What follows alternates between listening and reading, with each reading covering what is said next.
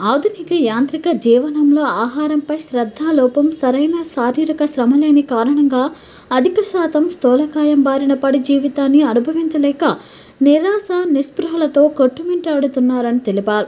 శనివారం స్థానిక నాగమల్లి సెంటర్ వద్ద ఉన్న ఈనోదయ హాస్పిటల్ ఆవరణలో ప్రపంచ స్థూలకాయం నివారణ దినోత్సవం సందర్భంగా అవగాహన కార్యక్రమం నిర్వహించారు. ఈ సందర్భంగా వారు మీడియాతో మాట్లాడుతూ శరీరంలో బరువు అతిగా పెరిగే స్థూలకాయం సంభవిస్తుందని తెలిపారు. అందుబాటులో విద్యారంగ ఆధునిక వైద్య సేవలు అందుబాటులోకి వచ్చాయని ఆయన అన్నారు. కేవలం ఒక్క వైద్యుడి సేవలు మాత్రమే కాదని స్థూలకాయ నివారణలో అన్ని విభాగాల వైద్య నిపుణుల బృందం సేవలు దీనిలో కీలకమని అన్నారు.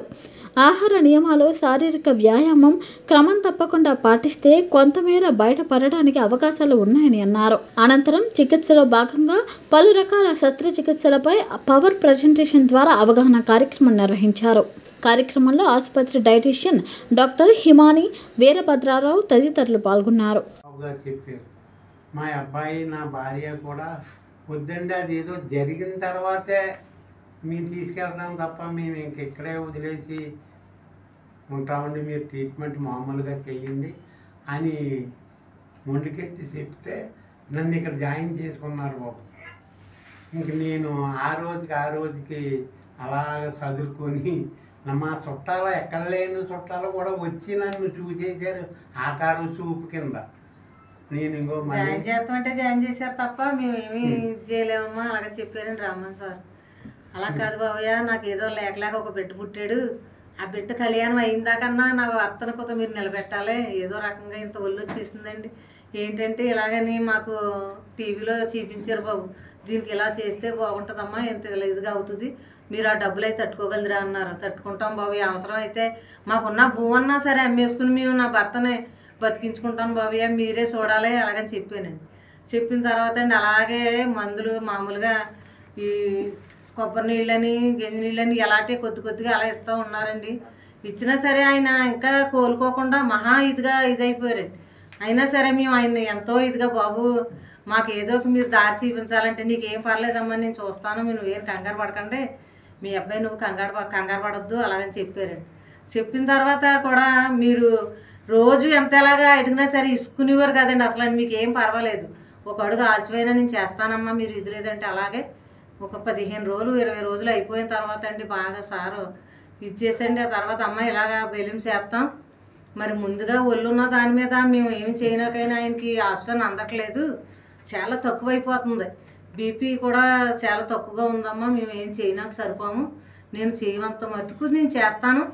తర్వాత బిల్లింగ్స్ చేస్తానని కూడా చే- చేస్తాండి మళ్ళీ తర్వాత బిల్లింగ్స్ అక్కర్లేదండి. ఏదో తేడా వచ్చింది అలాగేనండి బెలూన్స్ మానేసి. మళ్ళీ నేను సర్జరీ చేస్తాను అలాగని సర్జరీ చేశారండి చేసండి ఎంతో ఇదిగా చేసండి అయినా ఇంక పర్వాలేదమ్మా సర్వీసరాకి చాలా ఇదిగా ఉంటుంది. మీరు నేను చెప్పినవి అన్ని వాడి నువ్వు జాగ్రత్తగా చూడమ్మా అలాగే చెప్పి. రోజు హాస్పిటల్ నాగపల్లి తోట జంక్షన్లో ఒక ఒబేసిటీ వెయిట్ ఉన్న వాళ్ళకి అవగాహన సదస్సు obesity awareness program support group meeting అంట. అంటే ఈ బరువు ఉన్న వాళ్ళలో ప్లస్ స్థూలకాయం ఉన్న వాళ్ళు ఏంటి కారణం పెరగటానికి?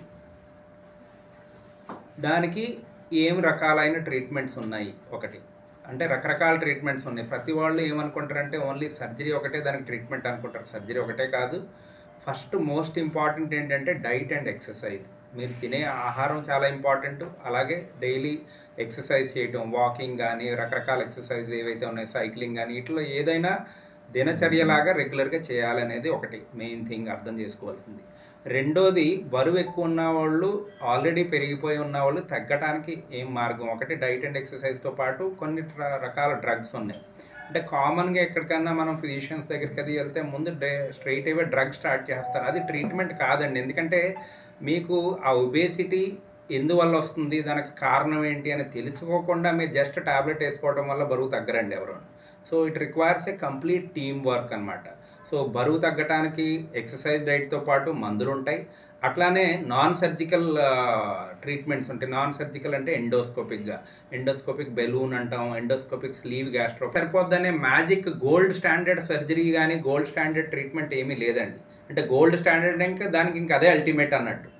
కానీ అలాంటి సర్జరీలు కానీ అలాంటి ట్రీట్మెంట్ కానీ ఒబేసిటీకి అయితే లేదు. It's a team work and ప్రతి పేషెంట్కి రిక్వైర్మెంట్ వేరేగా ఉంటుంది. దాని ప్రకారంగానే మనం ట్రీట్మెంట్ వాళ్ళకి ఆఫర్ చేయాలి. సో అలాగే ఎండోస్కోపీ ఏదైతే చెప్పానో బెలూన్ ఆర్ స్లీవ్ గ్యాస్ట్రోప్లాస్టీ అంటాం. ఇదంతా ఎండోస్కోపీగా చేస్తారు. దాని తర్వాత వచ్చేవన్నీ బెరియాట్రిక్ సర్జరీలు అంటాం. బెరియాట్రిక్ సర్జరీలో కొంతమంది చాలా ఒక అవగాహన ఏంటంటే బెరియాట్రిక్ సర్జరీ అనగానే ఓన్లీ లైపోసక్షణ అని అడుగుతారు అందరూ.